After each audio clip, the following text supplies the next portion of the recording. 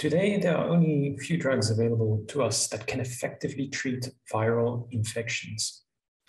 Antimicrobial peptides hold a lot of promise as antiviral drugs. And with me to discuss the antiviral potential of antimicrobial peptides is Dr. Gill Diamond from the University of Louisville. Dr. Diamond, thank you so much for being here. Thank you. Happy to be here. Dr. Diamond, a lot of good research on antimicrobial peptides, or short AMPs, has been done recently, and new options, not just for antivirals, but also for antibiotics and even anti cancer drugs, are emerging. What aspects of AMP research are you most excited about? And do you think we will soon be seeing more drugs emerging that can effectively treat uh, viral infections? Well, antimicrobial peptides have been studied for quite a while. I guess they were discovered sometime in the 1980s. Um, companies have sprung up since they were initially discovered, we discovered early on that they were active against bacteria, fungi, viruses, wide range of microbes. So there has been always a lot of excitement about their potential use as uh, drugs. Then, of course, as you mentioned, they're also potentially useful against cancer. So there's a lot of basic research, a lot of in vitro research, and some animal research that, that does show that they have a lot of activity and they could be useful as drugs. I think at this point, some of the really exciting research right now is going on in examining exactly how we could modulate our own natural antimicrobial peptides rather than giving these peptides that are from frog skin or fish skin or cow stomach or wherever they've been isolated from. Uh, that if we examine our own peptides, and uh, because a problem with the peptides themselves is that as I mentioned, companies were uh, started as soon as these peptides were discovered, and they tried to give a variety of different peptides against different types of infections. They didn't really work very well. So we know that the peptides are active in vitro. We know that they can work under certain conditions in animal models, but once they're given as drugs, there are some problems that have to be overcome. So there are a variety of different ways we're trying to, to, to work those things out. And as I said, one of those is to try to tweak our own natural peptides rather than give foreign ones.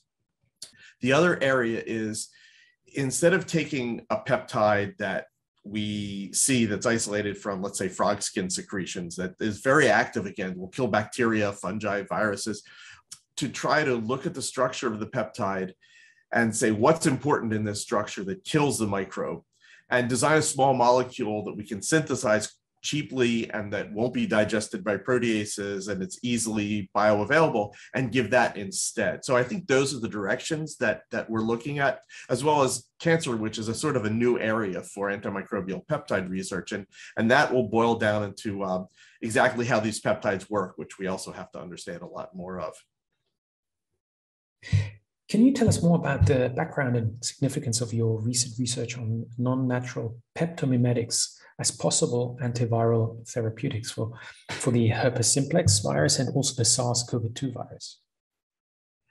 So I have been working on antimicrobial peptides for quite a while, uh, and I started recently a collaboration with Dr. Annelise Barron at Stanford University to look at molecules that uh, she has developed called antimicrobial peptoids, which are like peptides, but they're not. They're, they're, as you mentioned, mimetics. And she's tweaked the structure of a peptide in such a way that it's actually completely resistant to proteases and any enzymes that might digest it. Uh, it's also actually cheaper to make, and it turns out, as they've tested, not very toxic. So uh, I had been working on some viral work and we discussed it and thought about putting our hits together. And we tested uh, her peptoids against um, viruses. The one I've been working on is herpes simplex virus 1, which causes cold sores. And we noticed really good activity. So uh, we started working that up. It's really exciting. These peptoids will actually basically burst the membrane. Uh, uh, herpes simplex virus is an enveloped virus. So it has a capsid, which has a, the DNA inside of it.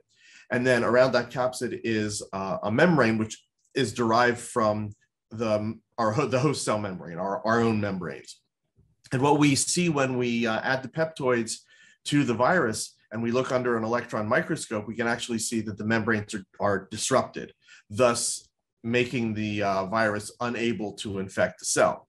And that's great, but we thought that unlike other antiviral drugs, which target something specific, like for take herpes simplex virus as, a, as an example, the typical drug is some derivative of acyclovir, which targets the thymidine kinase enzyme of herpes simplex virus. So it's very specific for this virus. And it has to get into a cell that where the virus has been infected. But unlike that, this peptoid just targets the membrane. And that membrane is going to be the same on herpes simplex virus 1, herpes simplex virus 2, and SARS-CoV-2, which is also an envelope virus. So since we I was here at the uh, University of Louisville, there's a colleague right uh, down the street in another building who uh, was analyzing anti- antiviral drugs against SARS-CoV-2. So I brought some Peptoid to him.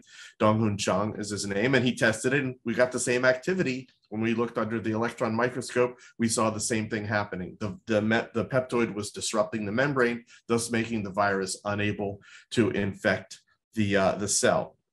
So uh, there is a company involved in this, Maxwell Biosciences, that's helping us out, and they're they're trying to uh, take this uh, a little farther, especially with SARS-CoV-2 for obvious reasons. Uh, we're also testing right now, we're working on the herpes simplex virus aspect by looking in a mouse model where we actually have a mouse model of, we basically give the mouse a, a cold sore and we can apply the, uh, the drug to the lip. And then we're, we're testing to see how active it is and which peptoid is active and exactly how it's working. So we're very excited about our, our results with the antiviral aspect of these peptoids. Why has previous research for antiviral medication only looked at very specific and uh, unique viral targets instead of focusing on a broad spectrum antiviral? So, what do you think um, is a better plan of action? Well, historically, the antimicrobial world has been uh, focused on trying to figure out what in the microbe, the bacteria and the fungus, the virus, uh, is can we target that's different from something in the host? Because if you want to take a drug, obviously it can't target something in the host. So let's find a bacterial enzyme that's involved in making the, the cell wall of the bacterium and target that, which is a good idea because there's probably nothing similar in our body that's like that. So if you design a drug for that, it, it's good. Same thing with antivirals. They, they find something like um, in uh, remdesivir in, uh, for, for Ebola, which targets an RNA dependent RNA polymerase, which is an enzyme we don't have. And fortunately enough, it may be enough similarity to the one in SARS CoV 2. So you can get some spectrum there. Uh, they may act against multiple different types of microbes. Um, but there hasn't been this thought, as far as I know, of targeting something that every microbe has. And that's what we've developed over evolution with the antimicrobial peptides, these, these molecules that will disrupt the membrane of the microbe, specifically the, the bacterial membrane or the fungal membrane. And oddly enough, um, surprisingly enough, the, the viral membrane, because it's different from the bacterial membrane. If you think about it, it comes from our own, our own host cell. So you'd think that if we gave a, a drug that would target a membrane that was from our own host cell, it would also be toxic. But it turns out it's not. And that actually goes to how the virus gets its membrane. And it's not exactly sa- the same as we have on our cells. It's different. It's closer in structure to the bacterial membrane.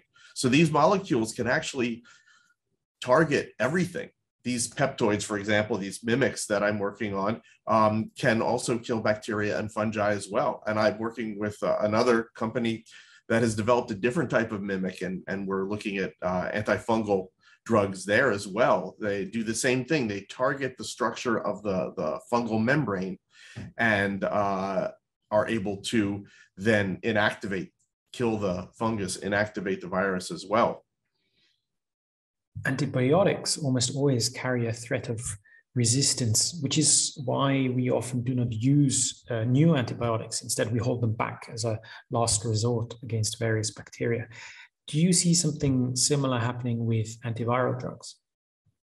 So, this goes to the whole uh, point I was making before about how historically people who have developed antimicrobials have targeted something, uh, some enzyme in the microbe. And the problem there, of course, is if you're targeting an enzyme, an enzyme is a protein, and a protein is encoded by a gene. And I've always said, if there's a gene, there's going to be a mutation. So, just the way life is, these microbes will develop resistance if you're targeting a particular enzyme, a gene encoded enzyme. Uh, so as we see with SARS-CoV-2, we know that it mutates. Um, all everything mutates, everything evolves. So they're always going to be evolving uh, resistance to drugs that are targeting uh, gene encoded proteins or enzymes. The nice thing about antimicrobial peptides is that they don't really target a, uh, in general, there are exceptions, but in general, they don't target uh, a protein, something encoded by a gene, but rather the structure of the membrane. And that's not something you can really change. Now, there are bacteria that can evolve resistance in a different way, but in general, it's very difficult for them to evolve resistance to antimicrobial peptides.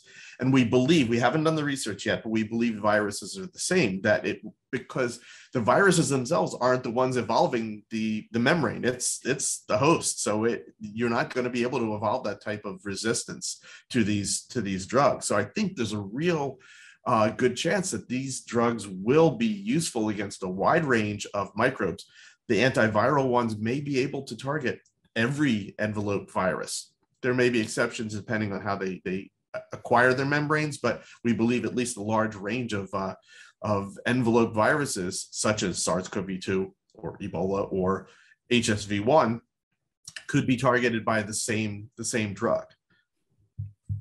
Can you maybe also tell us a bit more about where your research priorities lie for 2022?